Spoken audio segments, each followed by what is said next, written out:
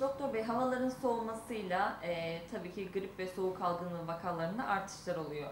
Bu konuda vatandaşları bilgilendirmek istiyoruz. O yüzden hani grip ve soğuk algınlığı arasındaki farkı bize bir anlatabilir misiniz? Aslında e, nedeni olan mikrop yapısı, e, virüs dediğimiz antibiyotik özellikle kullanmadığımız bunu e, her platformda söylüyoruz, e, genel medyada da yer alıyor. Antibiyotik asla kullanmadığımız virüs türlerinden oluşuyor. Bunlar da alt sınıf olarak birbirlerinin aslında akrabaları ama soğuk algınlığı tablosuyla grip tablosu klinik olarak tamamen birbirinden farklıdır. Soğuk algınlığı herkesin yılda birkaç kez geçirebileceği, işte belki çok hafif bir öksürük, hapşırma, e, burun tıkanıklığı veya akıntısı, hafif bir baş ağrısı, yaygın bir kırgınlıkla, belki ayakta bile, hani günlük aktivasyonla engel olmayacak şekilde bile geçirebileceği bizim için cold common dediğimiz hani soğuk algınlığı virüsüyle karakterize neden olan bir durumdur. Grip dediğimiz şey ise çok ağır bir tablodur. Ee, zaman zaman yurt içi yurt dışı ölümlere de vesile olabilen bir kere her şeyden önce başa çıkılması çok güç baş ağrısı, başa çıkılması çok güç ateş ve bütün vücutta çok şiddetli yine başa çıkılması çok güç yaygın ağrılarla karakterize ağır bir tablodur. Onun için bir hapşırma, bir öksürme, bir burun tıkanıklığını grip olarak değerlendirmemek lazım ama şüphe altındaysa tabii sağlık kuruluşuna başvurmakta yarar var. Peki nezlenin bunlardan bir farkı var mı? Nezle soğuk algınlığının bir tipidir zaten. Yani nezle az önce söylediğim tablonun içinde işte özellikle hapşırık işte burunda ve e, gözlerde sulantı, koriza dediğimiz bir tablo ile kendini gösteren soğuk algınlığının bir alt tipidir. Peki e, bu soğuk hava- havaları seyreden grip ve soğuk algınlığında e, insanlar hasta olmadan mevsimleri atlatabilme şansları var mı? E, Yani bazı şimdi çok yakın temas halinde yaşayan e, insan grupları var. Yani bizim gibi hastane çalışanlar, sa- sağlık e, çalışanları, e, askerler, öğrenciler gibi toplu yerde yaşayanlarda tabii ki bulaş olasılığı çok daha kolay oluyor. E, Bu kişilerin hani yapabileceği şey hasta olanın maske kullanması, hastayla temas halinde olanların belki maske kullanması. Ev, ev şartlarında işte yine maske, oda, hatta ev e, izolasyonları gibi risk altındaki kişilerin korunması mümkündür. Ama e, grip endemiler halinde yani büyük kitleler halinde, onlarca kişi halinde, yüzlerce kişi halinde yayılması mümkün olan özel bir durum iken soğuk algınlığı virüsleri çok kolay. Hani aynı odada kısacık bir süre kalma halinde bile bulaşabilir. Ve dediğim gibi hep izolasyon tedbirleri, hijyen tedbirleriyle birazcık bunlardan uzak kalmaya çalışabiliriz.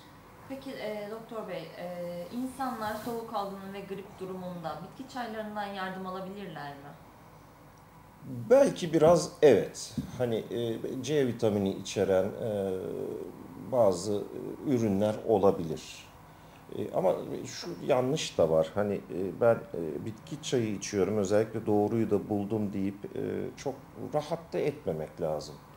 E, onlar kullanılabilir. E, özellikle çok sıcak içersem şu bitki çayını beni çok iyi koruyor gibi böyle yanlış yollara sapmazsak elbette olabilir. Hangi bitki çayları işe? E, C vitaminini daha çok hani ispat etmiş kendini. E, içinde C vitamini içeriği olan bitki özlü çaylar olabilir. Peki insanların grip, grip ve soğuk algınlığı durumlarında acillere e, bu kadar akın etmesi doğru mu? Yani bunu birbirinden ayırt edip polikliniğe ve acile gitmeleri Şimdi daha bazı bazı e, insanların da e, kafaları karışabiliyor. Hani bazı yayınlar, bazı yazılı e, sözlü medya organlarındaki söylemler, yazılanlar insanların telaşına neden olabiliyor. Belki ondan da biraz kafalar karışıyor, ondan da ama acilde e, acil vakalar yer almalı.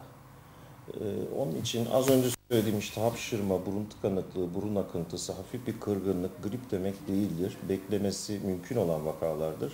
Bunu hissettiğimiz anda erken dönemde yapılacak bir sağlık ocağı veya hastane e, başvurusu daha mantıklıdır.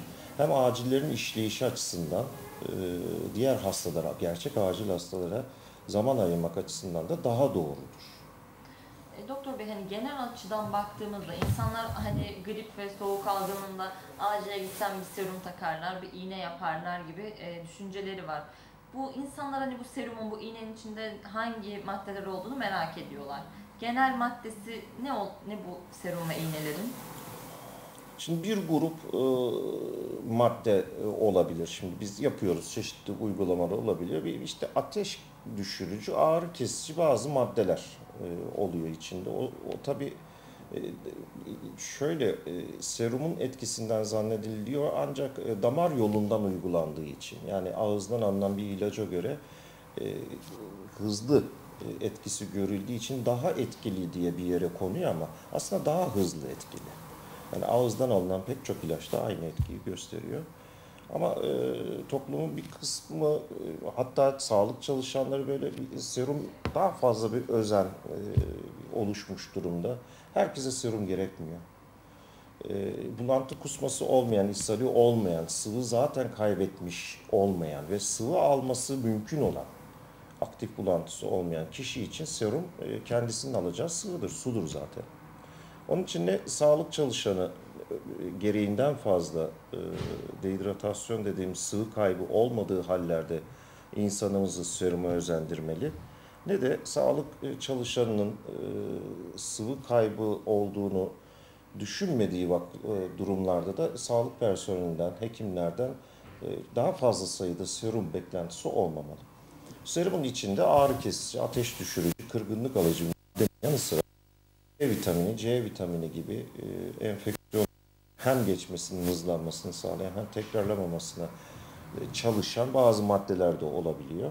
Bir de korizo dediğimiz e, nezlenin o işte burun akıntısı, hapşırık, göz ve e, burunda o yakıcı, insanı çok rahatsız eden korizo dediğimiz durumu engelleyen bir madde türü daha olabiliyor. Serumun içeriği budur. Ama o serum olduğu için değil, tekrar söyleyelim, damar yolundan hızlı verildiği için, hızlı etkili olduğu için özeniliyor. Levent Bey, hani dediğiniz gibi havaların e, soğumasını seyreden e, haberleri okuyoruz. Bu konular içerisinde de grip aşısı dediğimiz evet. bir aşı türü var ve insanlar bunun e, yararlı ve zararlı yönlerini merak ediyorlar. Hani bazı hekimlere göre yararlı, bazı hekimlere göre zararlı. Siz bu konuda ne söylemek Şimdi istersiniz? konuyu aslında e, enfeksiyon uzmanları yıllık olarak değerlendiriyorlar. Hem dünyada hem Türkiye'de bunun komisyonları kuruluyor. Her yıl viral işte o virüs şusları ortaya çıkarılıyor.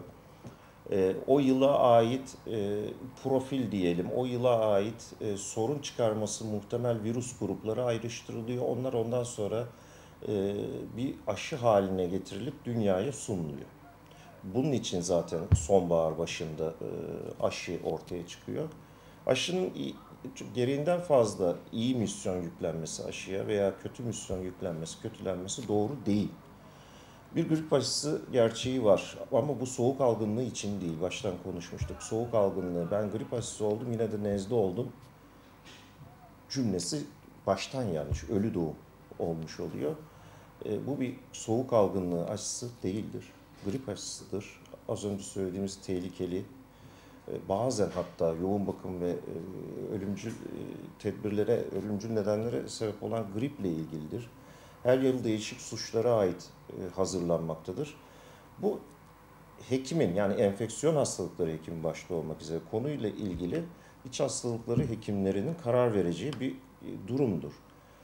E, herkes kendini gruplandırmamalı. Hani bireyseldir bu tedavi, bireyseldir. Aşı tedavisi bireyseldir. E, kronik e, solunum yolu enfeksiyonları. Kronik, hep bunu söylüyoruz yıllardır. Kronik solunum yolu enfeksiyonları, kronik karaciğer hastalıkları, kronik renal yetmezlikler gibi immün sistemi yani bağışıklık sistemini düşüren viral enfeksiyona ve özellikle gribe yatkın kişilerde toplu yerlerde yaşayanlarda o kışı toplu yerlerde geçirmek zorunda olan risk kişilerde grip aşısı gereklidir.